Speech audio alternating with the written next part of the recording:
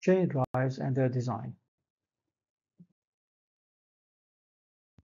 A chain is a power transmission element made as a series of pin-connected links.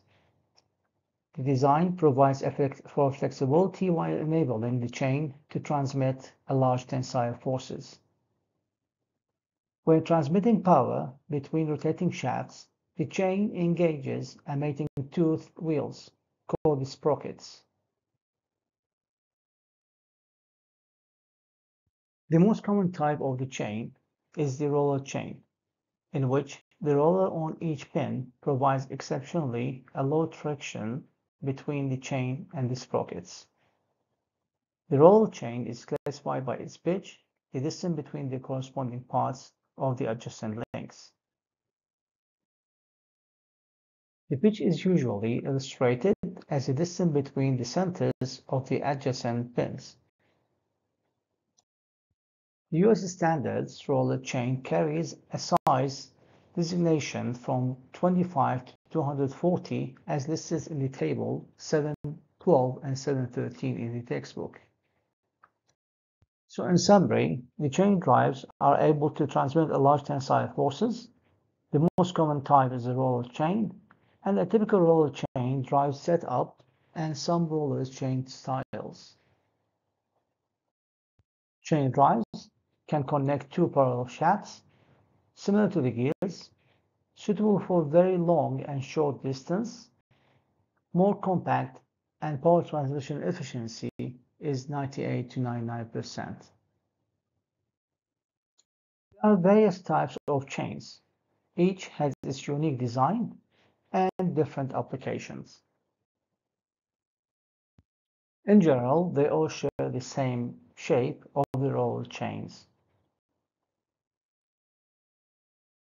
The ratings are for a single strand of chain. As although multiple strands do increase the power capacity, they do not provide a direct multiple of the single strand capacity.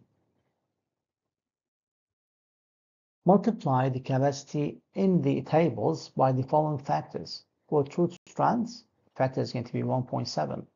For three strands, the factor is going to be 2.5. And finally, for four strands, the vector is going to be 3.3. The chain manufacturer's ratings are for the service factor of 1. Specify a service factor for a given application as shown in table 716. The combination of a nature of the driving members and the driven machine permit the selection of the service factor. Then compute the design power from the following equation, where P is the power delivered to the chain drive and the SF is the service factor.